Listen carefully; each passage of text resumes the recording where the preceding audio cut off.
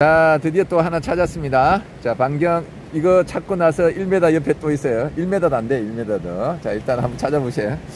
찾으면 그거는 본인이 가져가세요. 주변에 1m 찾으시면 본인이 가져가세요. 네. 와.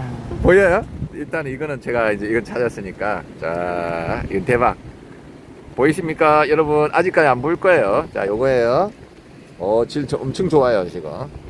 네 질이 상당히 좋은 게 다이아가 나왔는데 아 한번 찾아보세요 아 긴 줄 알았는데 아니네 저거 한번 까만 거 한번 찾아 소리 한번 들어보세요 저거요? 그거 한번 들어보세요 어 그래도 바로 알아보시네 한번 보세요 긴가 아닌가 아니죠. 한번 들어보세요. 아, 아니다. 거의 한끗 차이로 아는 아이네. 아입니다. 아이십니다.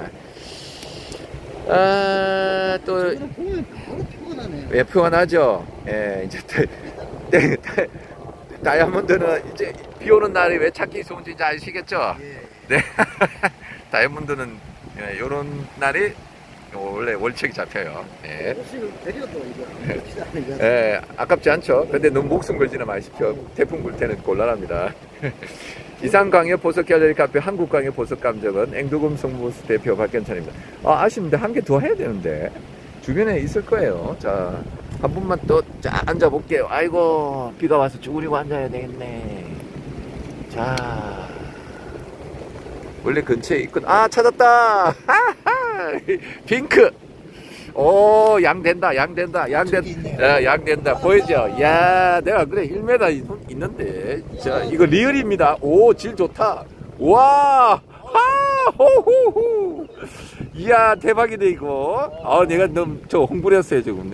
어, 공- 공룡 모양이, 오, 이거 순도 94다, 이거. 야, 이거 순도 94다, 이거. 뭘, 볼 필요도 없다, 이 다이아 백 대박인데. 깔매기가 깊어가지고 막 울어주네. 갈매기가 막 기- 기뻐가지고 울었으니.